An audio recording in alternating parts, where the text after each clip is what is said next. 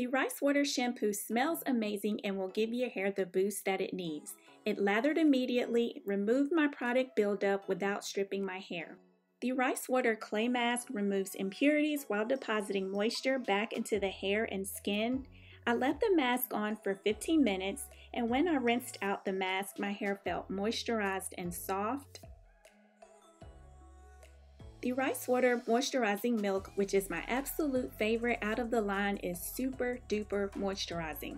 I chose to use this to do my braid out because of the moisture and shine that it provides, but also for the definition. I like to detangle each section before braiding. I smooth and twirl my ends to ensure my ends are curly and defined and not frizzy and unruly after taking my braids out. If you haven't tried this line yet, you're definitely missing out.